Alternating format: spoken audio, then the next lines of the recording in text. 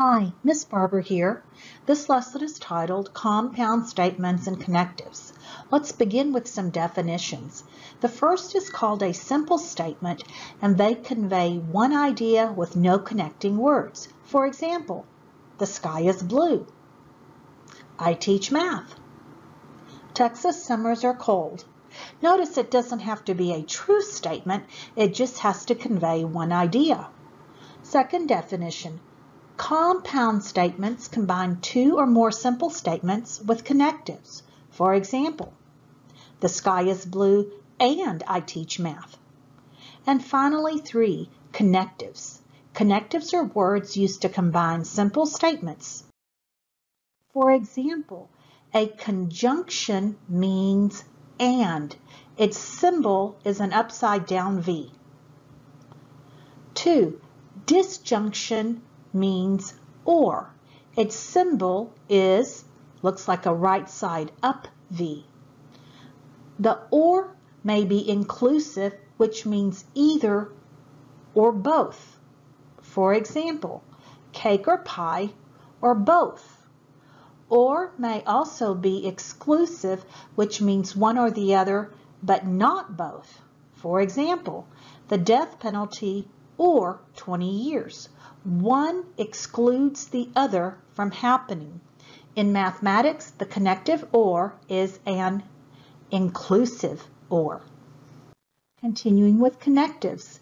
A conditional statement is also called an implication and is denoted by a right-directed arrow.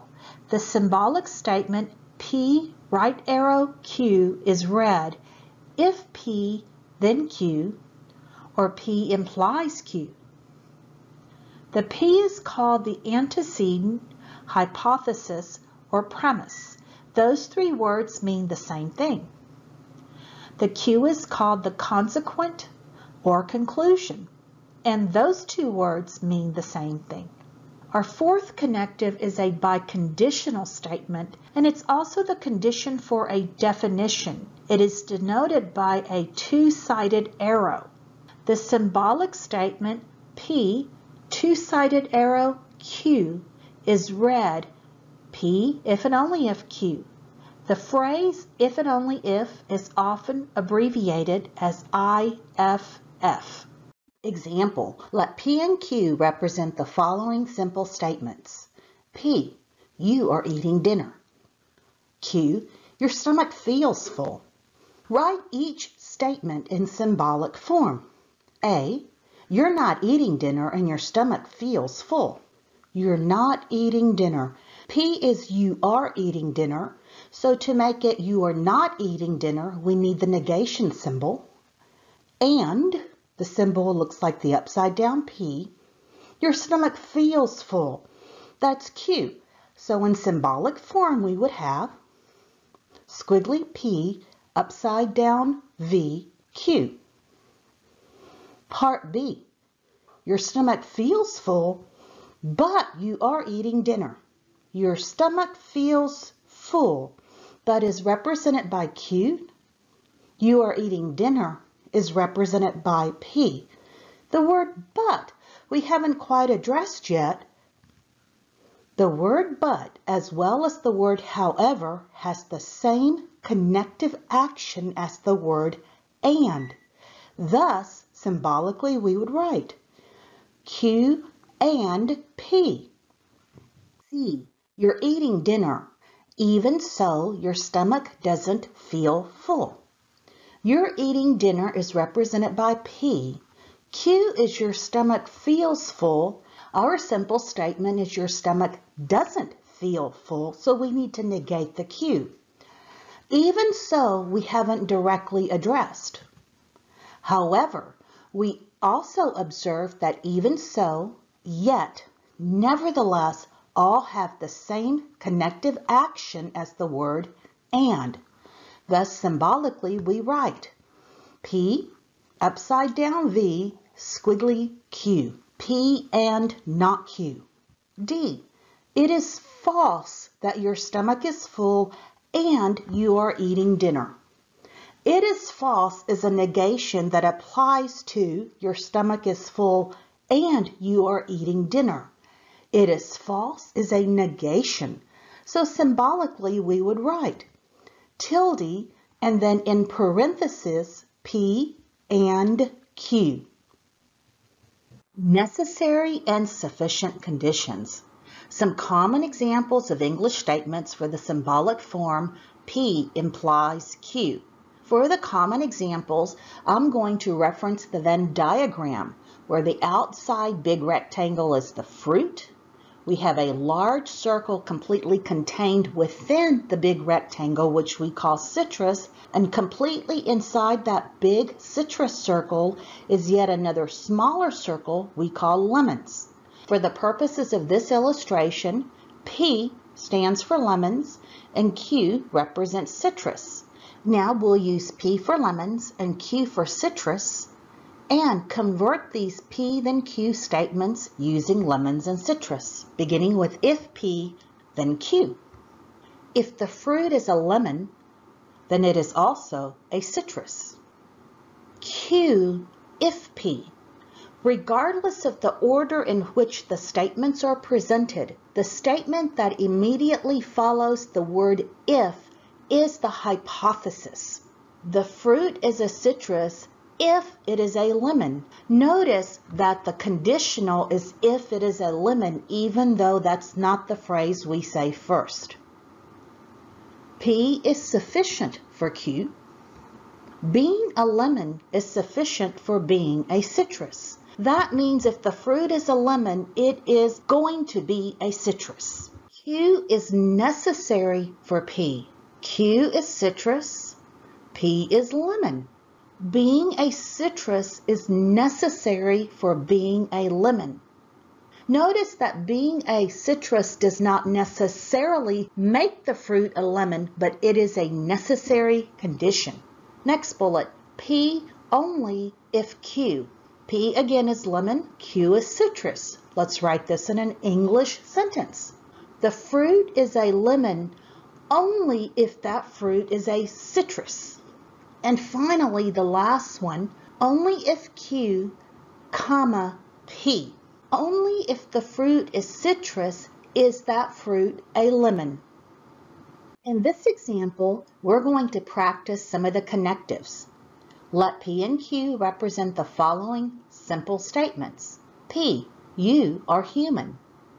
Q, you have feathers write each statement in symbolic form.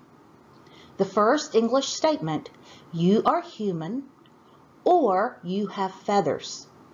Here we need to use the symbol for or, which is like a small v. P or Q. You are not human.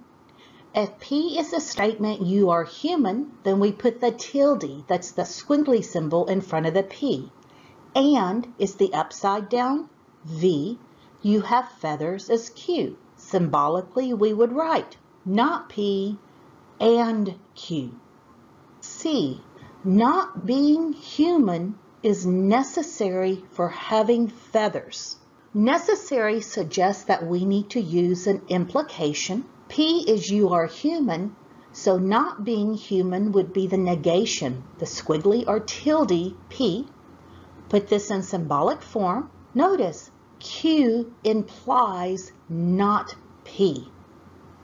Q, that's not having feathers, is what implies you are not human. Again, notice that the order of the symbolic representation is not the same as the order of the phrases in the English language. Having feathers is sufficient for not being human. That is, what condition implies what conclusion. The condition or hypothesis would be having feathers, so that would be Q.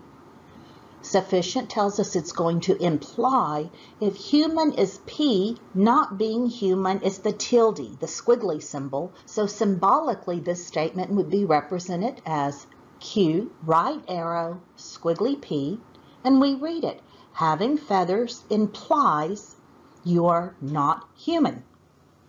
E, you have feathers only if you are not human. If you are not human is the hypothesis. And if P is you are human, not human would be squiggly P. And so symbolically we would write this as squiggly P implies Q. And finally, part F, you are human only if you do not have feathers. Notice that the statements are reversed from part E. Symbolically, we would write this as squiggly Q, right arrow P.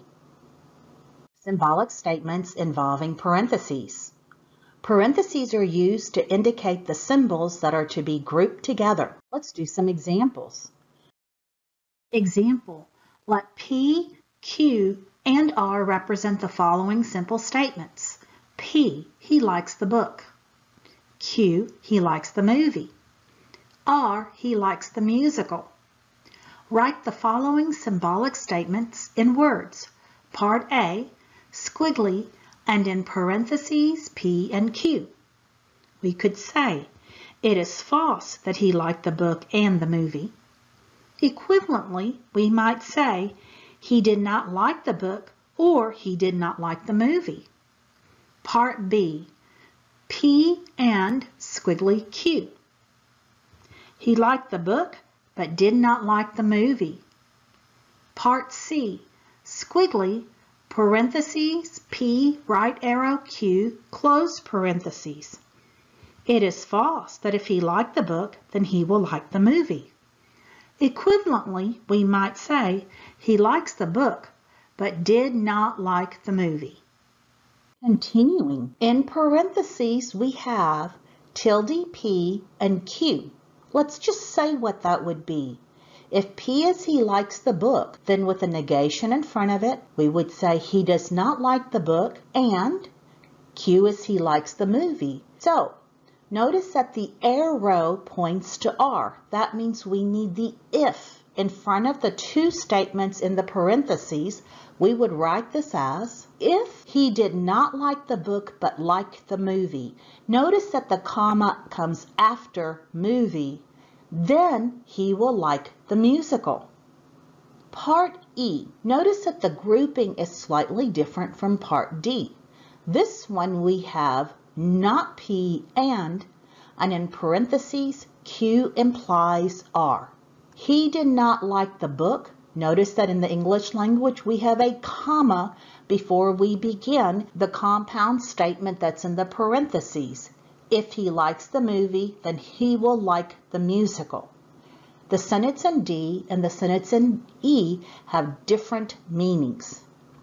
And finally, F. Not R implies and in parentheses P and not Q. Let's write that in English words. Remember, the arrow tells us we have an if-then. R is he likes the musical. Not R would be he does not like the musical.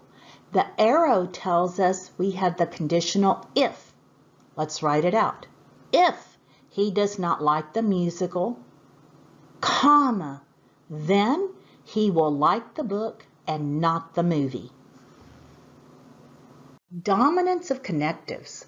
As with the order of operations in arithmetic, you might be familiar with PEMDAS, parentheses, exponents, multiplication and division, whichever appears first, reading from the left to the right, as well as AS, addition and subtraction, whichever appears first, reading from the left to the right.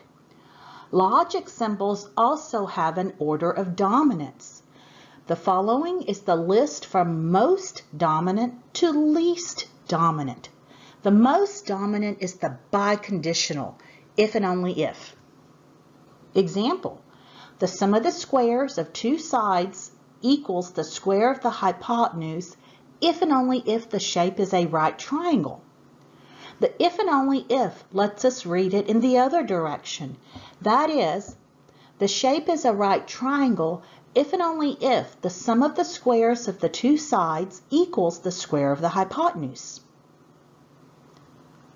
The next dominant is the conditional. An example, if you are his sister, then you are his sibling.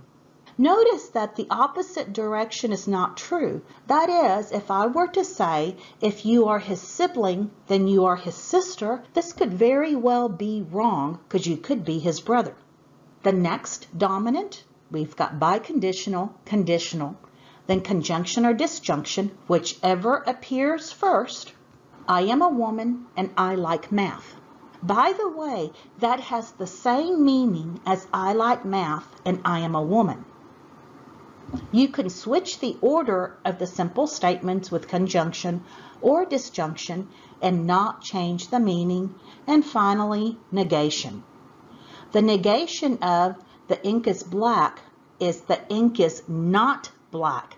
Negation is not necessarily opposite. Negation just means it is not. Next example. Let P, Q, and R represent the following simple statements. P. She is a U.S. citizen. Q. She is registered to vote. R. She votes in the upcoming election. Write the following symbolic statements in words. A. P and not Q implies not R. We have no parentheses, so using our knowledge of the dominance of connectives, we're going to place the implied parentheses. That is, the implication is a stronger or more dominant connective than the and. So we put parentheses around not Q implies not R. Now we can replace those symbols with words and commas properly placed. She is a U.S. citizen, comma. And if she is not registered to vote, then she does not vote in the upcoming election. B. R, if and only if P and Q. Again, in the absence of parentheses, we use the order of operations equivalent for the dominance of connectives. The if and only if is the most dominant connective. We'll place the implied parentheses uh, if and only if P is in parentheses and Q. Now let's replace those symbols with our simple statements. She will vote in the upcoming election if and only if she is registered to vote and she is a U.S. citizen. For fun, negate the following statement. Everybody loves somebody sometime.